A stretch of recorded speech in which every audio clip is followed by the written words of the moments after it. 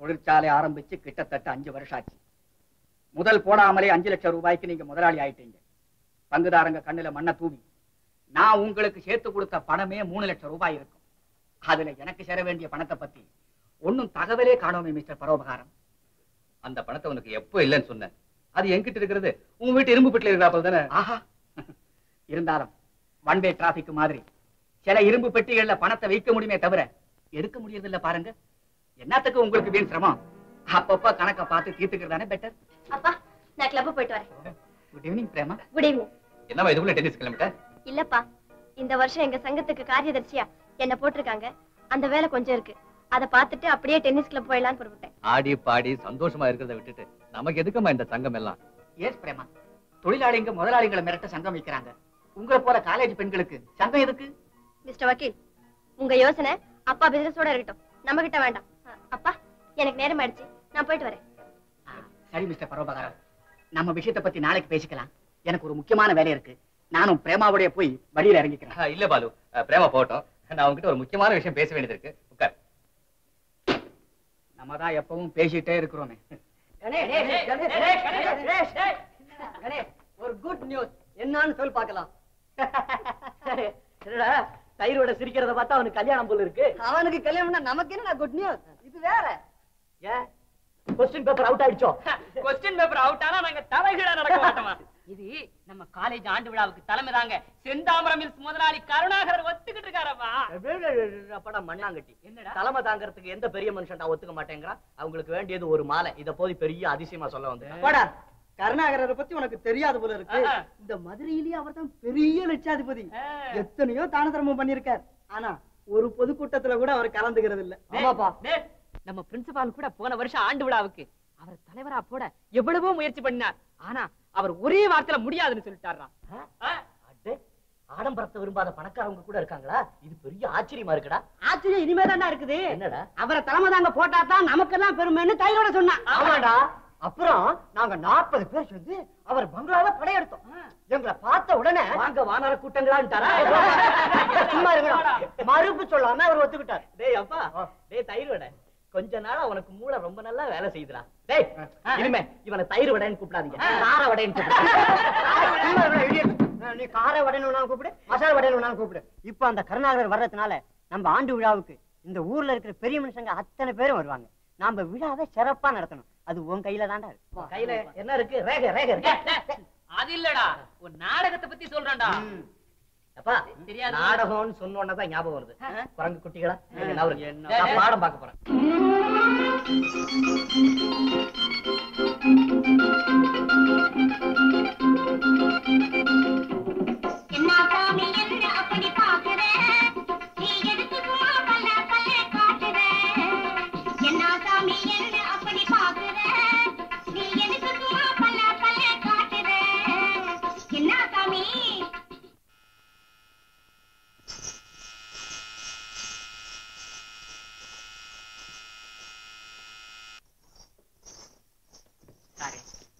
உங்களுக்கு தொந்தரவு கொடுத்துட்டேன். ஏன் இன்னைக்கு ஆறு மணிக்கே கதவெல்லாம் சாத்திட்டீங்க? அண்ணா சினிமாவுக்கு போயிட்டாங்க. வீட்ல யாரும் இல்ல. அதனாலதான். ஆமா நீங்க ஏன் இன்னைக்கு இவ்வளவு சீக்கிரமா வந்துட்டீங்க? நான் இன்னைக்கு கிளப்புக்கு போகல. கோர்ட்ல ஒரு அற்புதமான கேஸ் நானே ஆர்கியூ பண்ண வேண்டி வந்தது. ரொம்ப டயர்ஸமா இருந்தது.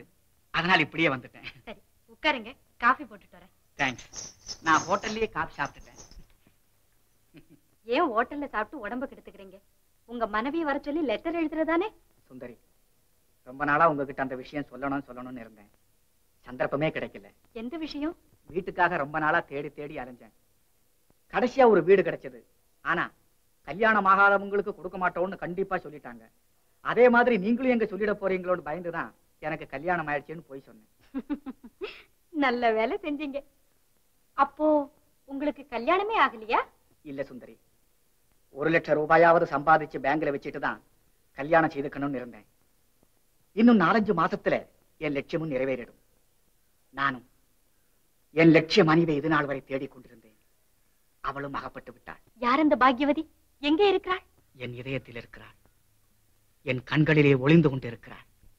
இதோ பார். என் கண்களில் பார். நன்றாக பார்.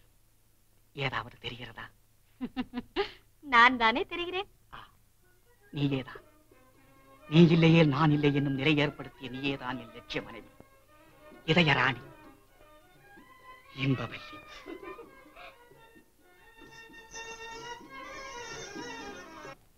கணேஷ் நடிக்கும் சாம்ராட் அசோகன்.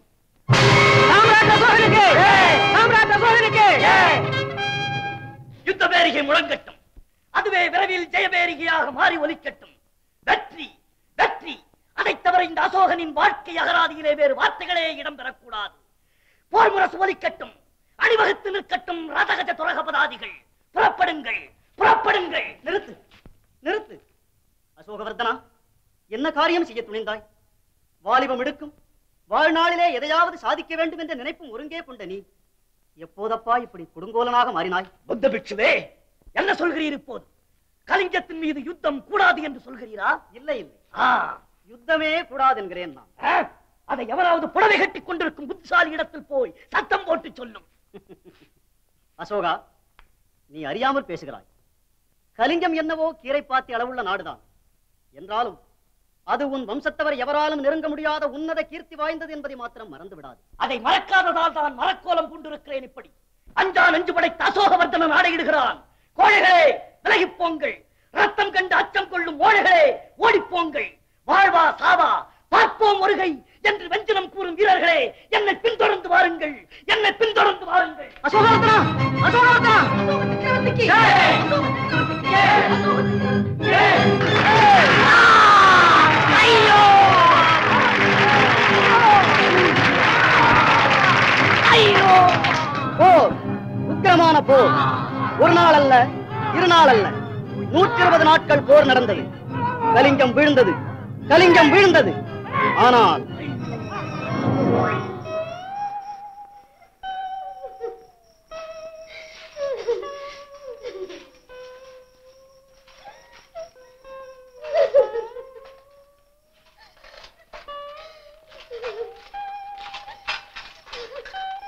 தாயே தாங்கள் யார்?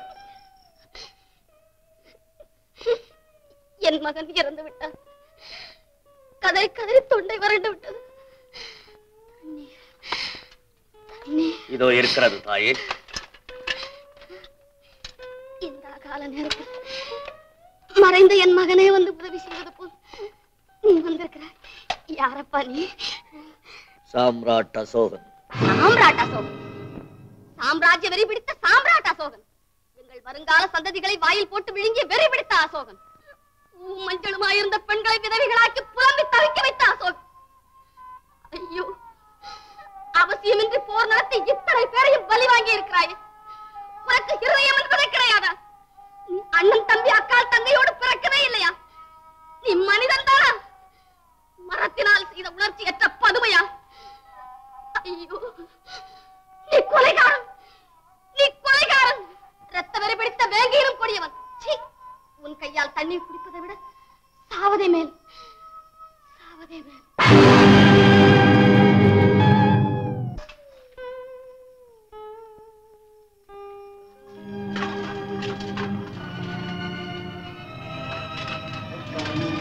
சரணம் கச்சாமி.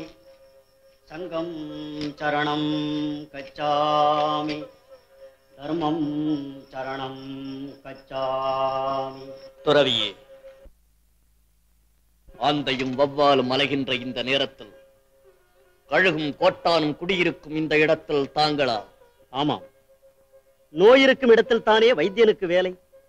அதனால்தான் மண்ணாசை என்னும் தொழுநோய் பிடித்து தேம்பி அலையும் உன்னை தேடி வந்திருக்கிறேன். ஏற்கனவே ஏர்முனைப்பட்ட நஞ்சை நிலம் போல் புண்ணாகி இருக்கிறது என் உள்ளம். தயவு செய்து மீண்டும் என்னை கெடுத்து விடாதீர்கள். அசோகவர்தனா இந்த ஆழிசூழ் உலகத்தில் கெடுக்க முடியாத நபர்களே இல்லையப்பா. கேவலம் வெள்ளி பணத்திற்காக உடல் இன்பத்தை அள்ளி அள்ளித் தரும் ஒரு விலைமாதை கூட கெடுத்து விடலாம்.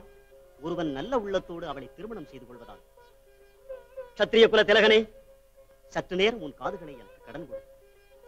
ஒரே ஒரு முறை சிந்தித்துப்பார் நீ எப்படி பெற்றாய் இந்த கலிங்க பூமியை என்று? அடுக்கடுக்காக கபால ஓடுகளை கொட்டி நிறுத்தி ஆயிரம் ஆயிரம் வீரர்களை கொன்று குவித்து அவர்களது விதவை மனைவிமார்கள் அறுத்தறிந்த அழகுமிகு கூந்தலை கயிறாக திரித்து ரத்தம் தோய்ந்த கரங்களால் உன் வெற்றி கொடியை பறக்க விட்டிருக்கிறாய். இதுவா வீரம்? இதுவா வெற்றி? இதுவா விவேகம்? இதுவா மானம்? இல்லை இல்லை இது அவமானம். அவமானம்!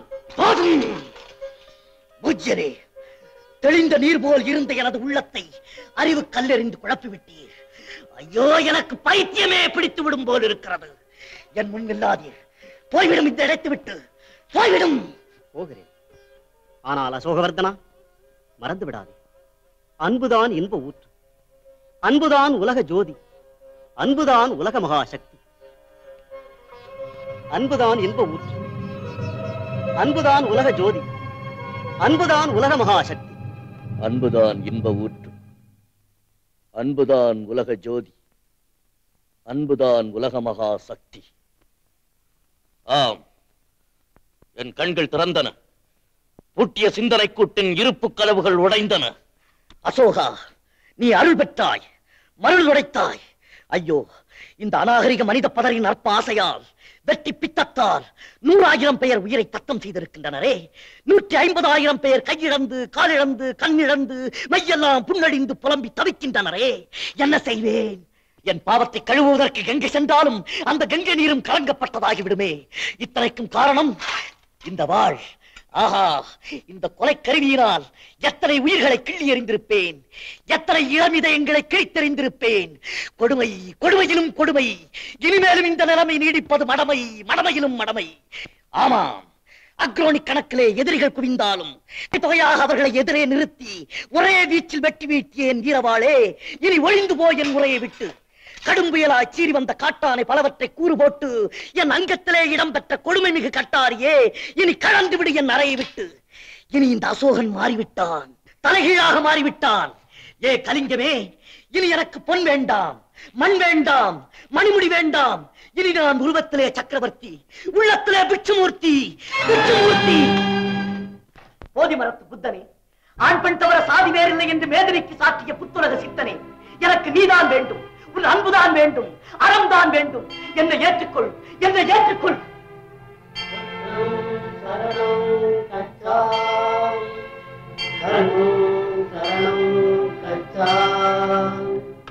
சரணம் சரணம் கச்சா